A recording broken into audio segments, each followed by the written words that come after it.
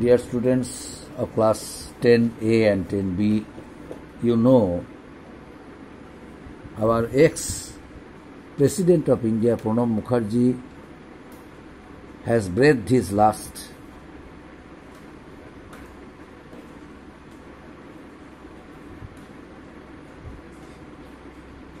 So on this, under these circumstances, I, I, I request you to be silent for two minutes.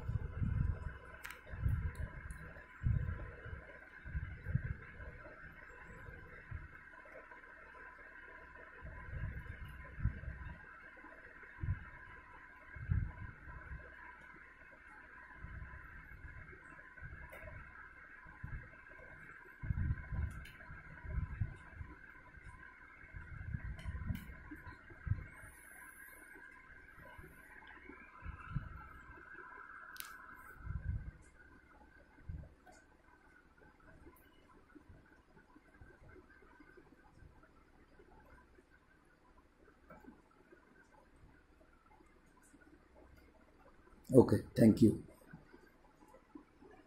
Now today our chapter number two, the president and the vice president. Here one one point is there. Examples of presidential rule in India. Examples of presidential rule in India. You know, the presidential rule is imposed in many states of India. Presidential rule was imposed in many states of India. One after one, many states of India came under the imposition of presidential rule, under which circumstances when its uh, constitutional machinery was broken down. Under such circumstances, the presidential rule was imposed uh, on uh, imposed on many states of India. I am giving some examples and uh, with statistics. The first one is uh, in the year 19, uh, you know, 77 uh, presidential rule was imposed in 19 uh, sorry in the year 1951 the presidential rule was imposed uh, imposed on punjab. It was uh, punjab came under presidential rule in the year 1951 1951 punjab came under presidential rule. And then in which year? In the year 1977 uh, you know nine states were brought under presidential rule. The name of the uh, nine states of India. Uh, um, now, what was the cause? The cause was that their state assemblies no longer reflected public views, views of the people. That's why these states, nine states came, uh, nine states were brought under presidential rule in the year 1977 and in the year December, in the year 1992, in December 1992, presidential president's rule was imposed in uh, some other states in 1992 like Uttar Pradesh, Madhya Pradesh, Rajasthan, Himachal Pradesh. Uttar Pradesh, Madhya Pradesh, Rajasthan and Himachal Pradesh. These were the states of India were imposed uh, uh, where president's rule were imposed in the year 1992. And on October 21, what happened in the year 1997 in India? On October 90, October 21st, 1997, the Union Cabinet recommended recommended the imposition of president's rule in Uttar Pradesh. What were the allegations behind it? Their allegations was the uh, legislative, you know, Vidhan Sabha did not follow the uh, system of the constitution and they brought allegations against the Vidhan Sabha Uttar, Uttar Pradesh, the allegation of acts of violence. But the president did not, the president felt that acts of violence did not imply breakdown of constitutional machinery. Acts of violence in the Vidhan Sabha or Legislative Assembly uh, uh, does not imply uh, the act of constitutional uh, breakdown, breaking down of constitutional machineries. In that case, uh, the president uh, politely denied, politely denied to accept their proposal and uh, the recommendation, whatever recommendation was uh, made by the uh, made for the president, it was not accepted by the president. President um, that means he returned the recommendation. The president re returned the recommendation, returned the recommendation for proclamation of uh, uh, and uh, recommendation by saying it that the you know act of violence in the Vidhan Sabha uh, does not imply does not imply that it has broken down the constitutional machinery. That's why President did not accept the proposal and ultimately he uh, uh returned the recommendation for proclamation of President's rule. And next, year, in the year 2013, in the year 2013, President's rule was imposed on Jharkhand. It was due to the withdrawal of a political party, Jharkhand Mukti Morcha (JMM), because in Jharkhand in the year 19 in the year 19 uh, 2013, BJP uh, BJP formed a coalition government. BJP formed a coalition government in the year 2013 and uh, BJP was with uh, Jharkhand Mukti Morcha JMM but JMM, JMM suddenly withdrew its support uh, pushing uh, the BJP into a minority. And ultimately the BJP became a, minor, minority BJP became minority. So under such circumstances uh, the president's president's rule was imposed in Jharkhand and chief minister you know uh, chief minister had to resign uh, Arjun Munda resigned and sought dissolution of the state assembly. So these are the incidents these are the instances. The president's rule president's rule uh, was imposed in different states of india one by one. Now financial emergency. Under what circumstances the president can declare finan- financial emergency? The president Suppose is satisfied that a situation has arisen whereby the financial stability of the country or the, the financial uh, stability of the country or, or the nation is threatened. In that case, the president can declare a financial emergency. Now, duration, how long the financial uh, emergency uh, how long can the financial emergency be continued? Such a proclamation has to be laid before both houses of parliament and is valid for two months unless it is approved by resolution of both houses of parliament. If the Lok Sabha is dissolved when such a proclamation is uh, done or is made and a resolution supporting it is passed by the Rajya Sabha. Suppose the Lok Sabha is dissolved. Meanwhile, a proclamation for uh, the you know uh, uh, financial emergency. Uh, a proclamation for financial emergency is uh, declared. Uh, a proclamation for financial emergency is is done. In that case lok sabha is not there lok sabha is dissolved but financial emergency declaring of financial emergency in the country uh, is very important to the president. In that case, president uh, under such circumstances where the Lok Sabha is dissolved, the president uh, forced, the president is forced to declare financial emergency in the country. Now, what happened to the situation? What happened to the circumstances? What happened to the president? How what is about the system of the Constitution of India.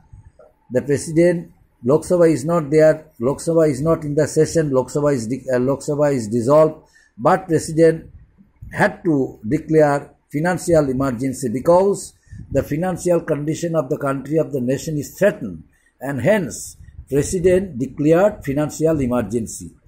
As per the system of the constitution, the proposal, since Lok Sabha is dissolved, the proposal for declaring national uh, financial emergency will be passed by the Rajya Sabha in presence of the members of the Rajya Sabha. A proposal for financial emergency in the country uh, will be passed in the Rajya Sabha, according to which a report will be sent to the office of the president, and president will uh, president will continue continue it till the situation of uh, the financial stability of the country uh, will be normal. And in that case, the president uh, will uh, will not withdraw, will not revoke the financial emergency from uh, from the country until uh, the economic stability of the country is stable. That's why the role of president in that case and the role of Rajya Sabha is very important. Both the Rajya Sabha and uh, the President uh, play an important role at the time of declaring financial, uh, uh, financial emergency when the Lok Sabha is not in session or Lok Sabha is dissolved. So, what is about the effect of financial emergency? Now I am going to discuss about the effect of financial emergency. What is about the effect of financial emergency?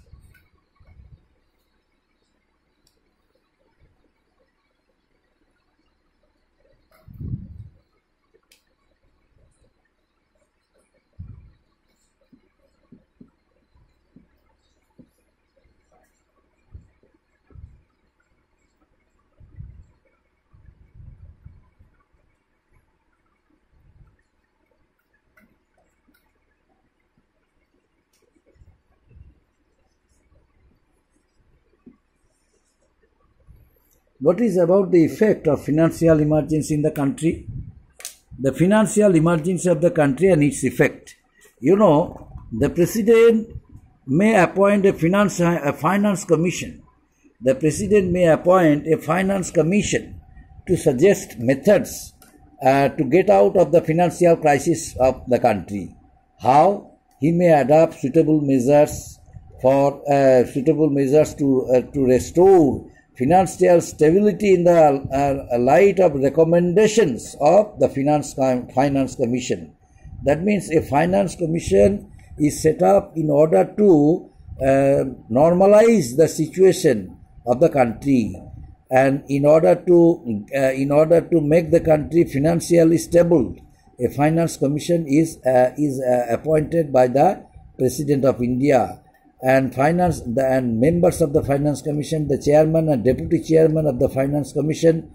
Once uh, uh, deputy uh, chairman and deputy chairman of the finance commission play an important role in making uh, all the members aware of the present situation of the country where financial stability of the country is threatened and the president uh, you know declared financial emergency.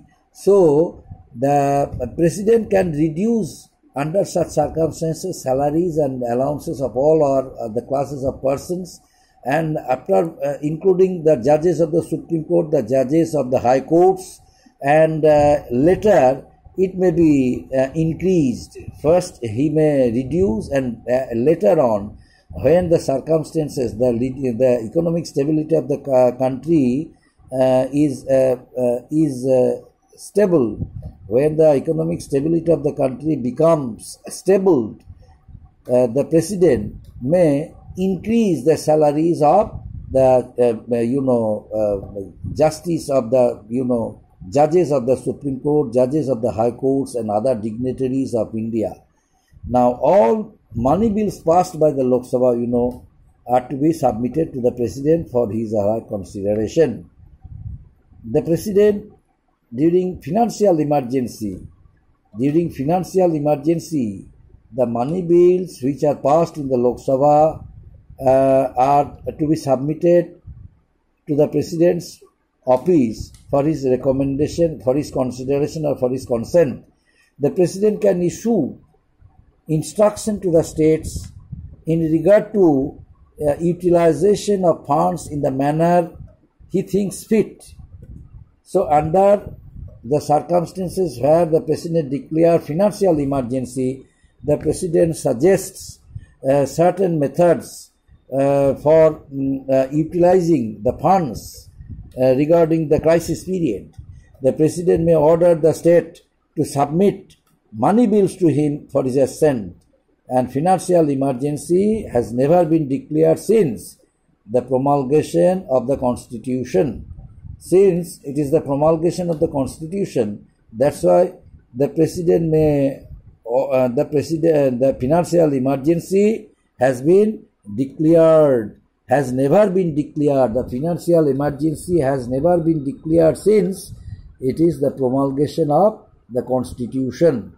But there is a provision in the constitution that it is only the president can declare financial emergency if he considers that uh, if he considers that the financial condition of the country is threatened the financial stability of the country has become uh, has become you know weakened under such circumstances in the interest of the country in order to strengthen the financial stability of the country the president can declare financial emergency and in that case the constitution uh, the provision of the constitution of the provision of promulgation of the constitution uh, uh, would uh, uh, would support uh, would provide would provide the proper would provide certain you know you provide opportunities for the president to declare the financial emergency in the country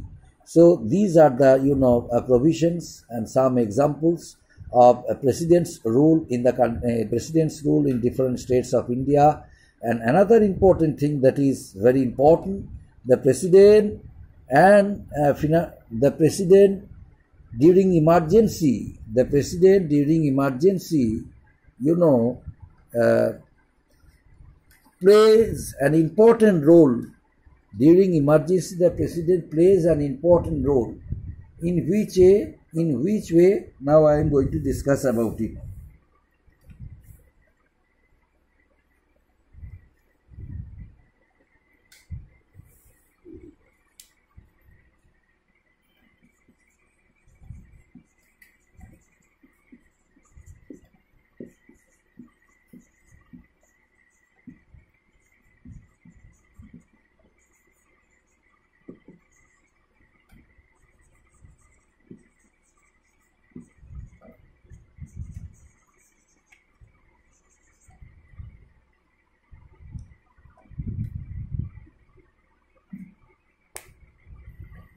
Role of the president during general emergency. During general emergency what is about the role of the president? During general emergency the president keeps watch over the activities of all political parties of india including the administrative system of the country whether it runs smoothly or whether there is any kind of you know uh, obligations any kind of uh, you know uh, any any kind of uh, problems any kind of irregularities.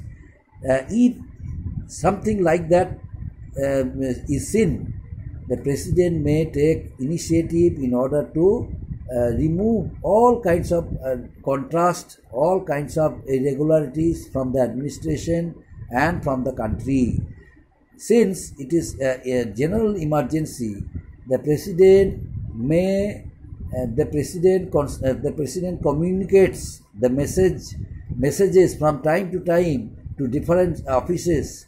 And as per the uh, as per the messages communicated by the president for different administrative sections and from different uh, for different offices the action the immediate action is taken. And otherwise the you know the you know uh, service holders of different you know offices or officers of different uh, administrative section their service and uh, they may be dismissed from their services.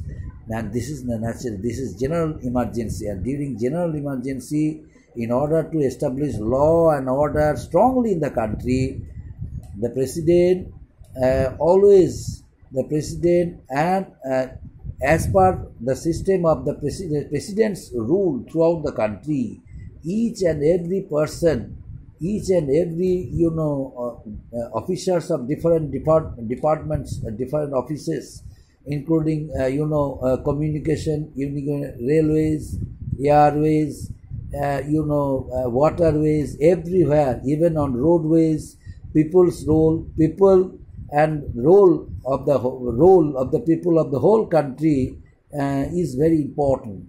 And uh, due to this reason president plays an important role eh, in the eh, in important role in regard to establish uh, financial establish political stability in the country so that law and order is is established strongly in the country and country's administration can run very smoothly. Up to this my dear students next day the remaining points. Thank you.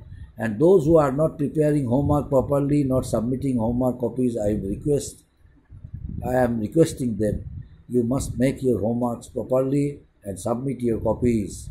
Before you sit for exam, you have to prove it that you worked, you worked during uh, the lockdown period and correct and uh, got your copies corrected by your subject teachers. Thank you, my dear students.